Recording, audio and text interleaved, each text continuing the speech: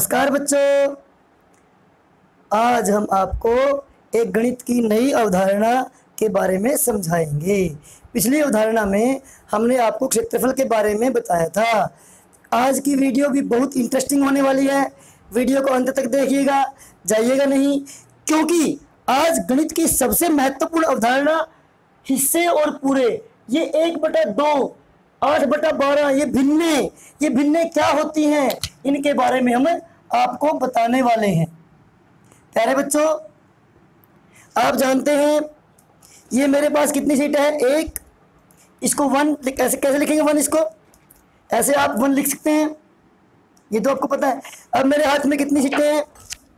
ये देखो, दो सीटें हैं ना? इसको कैसे लिखेंगे आप? दो।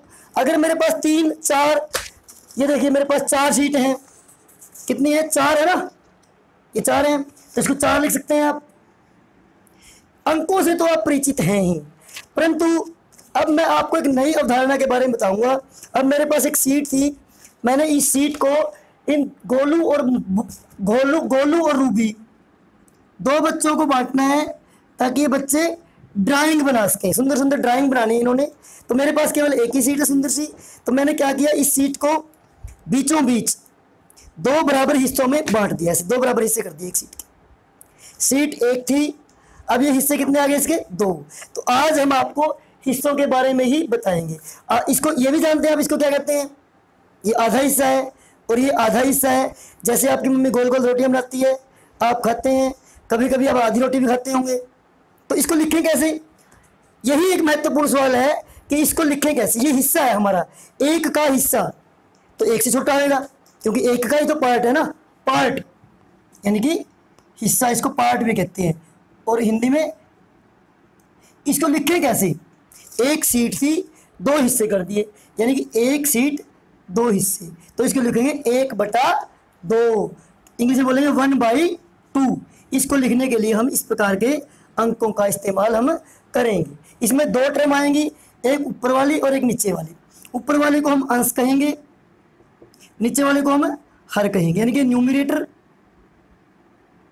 और ये डिनोमिनेटर डिनोमिनेटर आपने ध्यान रखना है, इसी प्रकार से जब हम बहुत सारी वस्तुओं को बांटेंगे, अब मान लीजिए हम इस सीट को तीन बराबर हिस्सों में कर दें। कितने बराबर हिस्सों में कर दें? देखो सीट तो वही है हमारे पास एक। क्योंकि अब मैंने तीन बच्चों में बांटनी है तो मैंने इसके तीन बराबर हिस्से कर दिए, देखिए। कितने बराबर हिस्से कर दिए? तीन। बराबर हिस्से हैं, बिल्कुल, एक दूसरे को ढक रहे हैं, देखिए। तो इस हिस्से, ये तीसरा हिस्सा हो गया ना? ये तो आधा था हमारा। आधे को लिखा, एक बटा दो। और ये तीसरा भाग तीसरा हिस्सा। इसको कैसे लिखेंगे? एक सीट और तीन बराबर हिस्से। तो इसको लिखेंगे हम एक बटा तीन। ये ध्यान रखना है, जो नीचे वाली अपनी घर है, वो बताती है हमें कि हमने कितने हिस्से किए हैं। अगर हम इसको चार बराबर हिस्सों में बांटे, ये देखिए ना तो इस हिस्से को क्या लिखेंगे हम? एक बटा चार। क्या लिखेंगे बच्चों इसको हम? एक बटा चार, यानी कि एक चौथाई। इसी प्रकार से आप भिन्नों को बांट बांट कर कर सकते हैं। ये देखिए, ये एक सुंदर सा मैंने डिज़ाइन बनाया हुआ है। इसमें मैंने एक सीट को कितने खंडों में बांटा हुआ है? एक, दो, तीन, चार, पाँच छः सात, आठ, नौ, दस, ग्यारह, बारह, तेरह, चौदह, पंद्रह, सोलह। सोलह बराबर हिस्सों में बांटाया है। तो आप एक हिस्से की भिन्न लिख सकते हैं क्या? एक हिस्से की, इसकी कोने वाले हिस्से की भिन्न कितनी आएगी बच्चों? ये सोलवा हिस्सा होगा ना? सोलह बराबर हिस्से हैं तो इसकी भिन्न आएगी एक बटा सोलह, एक बटा सोलह वन सिक्सटीन यानी कि सोलह बराबर हिस्से के और ये एक हिस्सा हमने ले लिया। तो इसको हम सोलह बच्चों में बराबर बराबर बांट सकते हैं। इसी प्रकार से, जैसे हमारे पास ये, देखिए एक सीट है सुंदर सी। इसके मैंने कितने भाग किए हुए हैं? एक, दो, तीन, चार, पाँच छः सात, आठ, नौ, दस, ग्यारह, बारह। बारह बराबर हिस्से किए हुए हैं। अगर इन हिस्सों में से मैं, ये देखो, आठ हिस्से ले लिए मैंने। ये चार अलग कर दिए, आठ हिस्से अलग कर दिए। एक बच्चे को चार हिस्से दे दिए, एक बच्चे को आठ हिस्से दे दिए। तो इसकी इसकी भिन्न कितनी है? इसकी भिन्न आठ बटा बारह है। इसी प्रकार से हम भिन्नों के बारे में और आगे विस्तार से, इसी प्रकार अगर हम इसके नौ हिस्से कर दें तो ये कौन सा हिस्सा है एक? ये एक बटा नौ कहलाएगा। जैसे मैंने बोर्ड पर लगाया हुआ है, ये देखियो, नीला और पीला। इसमें पीले भाग के भिन्न कितने बच्चों? ये देखो, पीले भाग दो है ना? एक बटा चार ये और एक बटा चार ये तो कितने हो गए? दो बटा चार। इस प्रकार से हम भिन्नों के आप जानते ही हैं, हमारे राष्ट्रीय ध्वज में कितने रंग होते हैं बच्चों? हमारे राष्ट्रीय ध्वज में तीन रंग हैं, केसरिया, सफ़ेद और हरा। यानी कि हमारे ध्वज को तीन बराबर भागों में बांटा गया है। कितने बराबर भागों में बांटा गया है बच्चों? इस प्रकार से तीन बराबर भागों में बांटा गया है। और बीच में क्या है उसके एक बीच में एक नीले कलर का अशोक चक्र बना हुआ है। उसमें चौबीस तिलियाँ हैं। वो हमें समय के बारे में बताते हैं कि एक दिन में चौबीस घंटे होते हैं। चलिए, केसरी कलर की रंग भिन्न कितनी है? तीसरा हिस्सा है ना हमारा। तो एक बटा तीन भाग है। इसी प्रकार से आपके विद्यालय में गणित क्लब बना हुआ है। गणित क्लब का झंडा है जो, ये देखिए, इसमें पाँच रंग है। कितने रंग है बच्चों? पाँच। तो इसमें लाल लाल भाग की भिन्न कितनी है? ये एक बटा पाँच ये और एक बटा पाँच ये ये बराबर हिस्से है ना? तो इसकी लाल की भाग दो बटा पाँच हो गई हमारी। चलिए, अब हम आपकी पुस्तक में से ही आगे एक जादुई लट्टू बनाते हैं। जादुई लट्टू क्या होता है बच्चों? देखो, ये देखो। एक जादुई लट्टू बनाया हुआ मैंने। इसको हम ऐसे कर सकते हैं। ये जादुई लट्टू है। क्या है ये? इसको घुमा सकते हैं। ये देखो। है ना जादुई लट्टू? तो इसमें क्या किया है? इसमें तीन सेंटीमीटर त्रिज्या के एक वृत्त को आठ बराबर भागों में बांटा हुआ है। कितने भागों में बांटा गया है? आठ बराबर भागों में। एक, दो, तीन, चार, पाँच छः सात, आठ। तो इसमें आप बताएँगे, ये गुलाबी कलर की भिन्न का कौन सा भाग है? गुलाबी कलर की भिन कौन सी है? देखो ध्यान से, आठवां हिस्सा है ना? तो इसको क्या लिखेंगे हम? एक बटा आठ। और लाल रंग की भिन्न को क्या लिखेंगे बच्चों? ये देखो, लाल पार्ट है जो हमारा। दिखा दे ना वो लाल पार्ट? एक बटा आठ ये एक बटा आठ ये ये देखो, ये भी मैंने एक कर रखे हैं। इस प्रकार से आपके पास दो हैं। ये देखिए। ये यहाँ पे देखिए आप। दोनों को ध्यान से देखिए। दोनों को ध्यान से देखिए। ये देखो। ये कितनी भिन्न है इसकी? दो बटा आठ है ना? क्योंकि आठ बराबर से एक बटा आठ एक बटा आठ तो दो बटा आठ ये और ये इसमें कितनी है? इसकी किसके बराबर है ये? दो बटा आठ। दो बटा आठ किसके बराबर है? एक बटा चार के बराबर है। यानी कि बराबर है एक बटा चार। इसके बारे में हम अगली वीडियो में पढ़ेंगे। तब तब तब तक हम मंजू की चॉकलेट को बांटते हैं। देखिए, मंजू का जन्मदिन है आज और मंजू के पास एक चॉकलेट है देखो ये मंजू ने, क्या नाम है इसका? ये मंजू है। कौन है? मंजू। मंजू ने अपने फ्रेंड्स को अपने बर्थडे में बुलाया हुआ है। किस किस को बुलाया मंजू ने? चलो देखते हैं आपकी किताब में से ये क्वेश्चन है। मंजू की सहेलियाँ जो बर्थडे पे आई हुई हैं राज़ी, सुगंधा और शीला। राज़ी, सुगंधा और शीला। उसने तीन सहेलियों को अपने बर्थडे पे बुलाया है, परंतु उसके सामने समस्या ये है, मंजू के सामने कि मंजू के पास केवल एक ही चॉकलेट है ये, और ये बारह हिस्सों में बटी हुई है।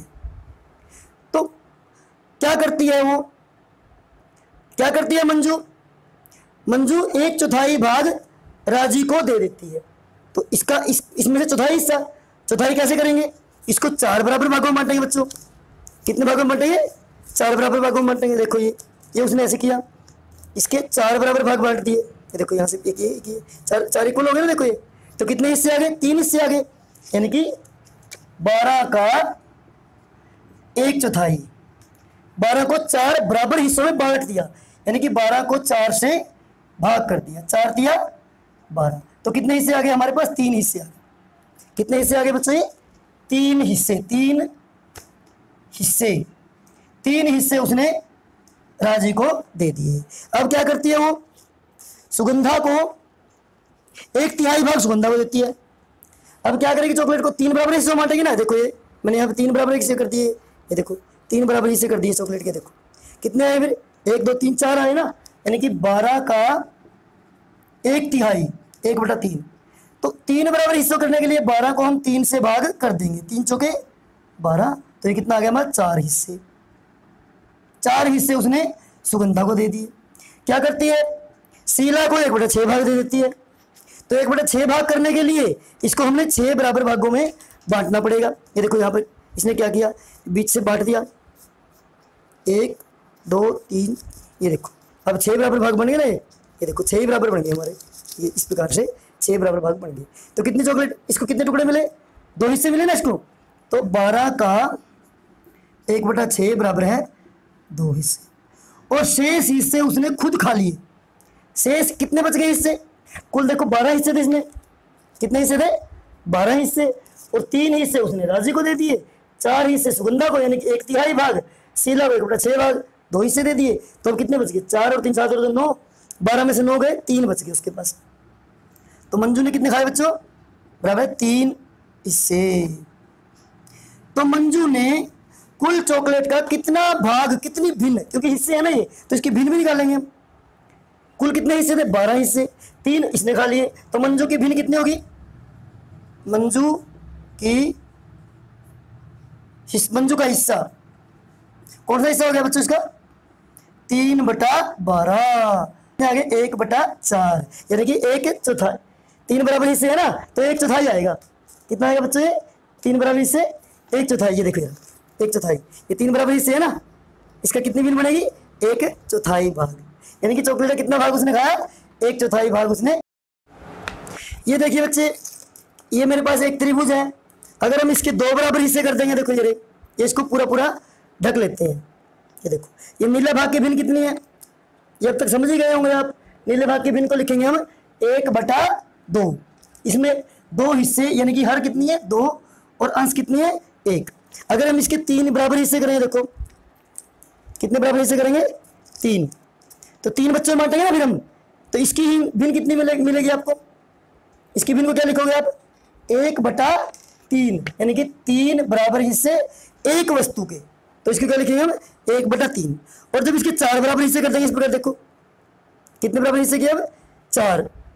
तो इससे इस पीले भाग की भिन्न कितनी लिखेंगे? चौथाई हिस्सा है ना ये, इसकी भिन्न लिखेंगे हम एक बटा चार। तो एक एक और सवाल है आपके पास, आपकी बुक में दिया हुआ है, एक त्रिभुज है आपके पास, क्या है? त्रिभुज।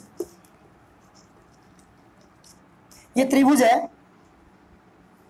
त्रिभुज को यहाँ से ऐसे तीन भागों में बांटा गया है। क्या आप किसी और तरीके से इस त्रिभुज को तीन बराबर हिस्सों में बांट सकते हैं? ये क्वेश्चन है आपके सामने। बिल्कुल बांट सकते हैं। देखो कैसे। जैसे इसकी इसमें किया गया है। देखो इसमें किया गया ना। इसमें बीच में पॉइंट लेके इनको किनारे से मिला के ऐसे। ये काट दिया हिस्सा इधर से। एक हिस्सा इधर काट दिया, एक हिस्सा इधर से काट दिया। तो इस प्रकार से भी हम इस त्रिभुज को तीन बराबर हिस्सों में काट सकते हैं। तो आपके पास दो तरीके। पहले बच्चों, आपकी गणित की पुस्तक गणित का जादू पुस्तक में से पेज पचास, इक्यावन, बावन, तिरपन और चौवन। आप खुद कीजिए। अगली वीडियो में बहुत ही इंटरेस्टिंग मैं कहानी सुनाऊँगा आपको। कहानी में हम उसको बांटेंगे और देखते रहिएगा और चैनल को सब्सक्राइब और लाइक करते रहिएगा।